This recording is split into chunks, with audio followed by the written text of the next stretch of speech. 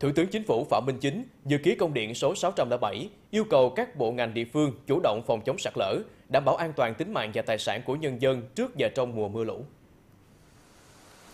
Theo đó, Thủ tướng Chính phủ yêu cầu các bộ trưởng, chủ tịch Ủy ban nhân dân các tỉnh thành phố trực thuộc trung ương, ban chỉ đạo quốc gia về phòng chống thiên tai chủ động chỉ đạo triển khai công tác phòng chống thiên tai nói chung và sạt lở nói riêng, tổ chức kiểm tra rà soát các khu dân cư, trường học, cơ sở y tế, trụ sở cơ quan, doanh trại ven sông, suối, kênh, rạch, ven biển, khu vực sườn dốc để kịp thời phát hiện khu vực có nguy cơ xảy ra sạt lở khi mưa lớn.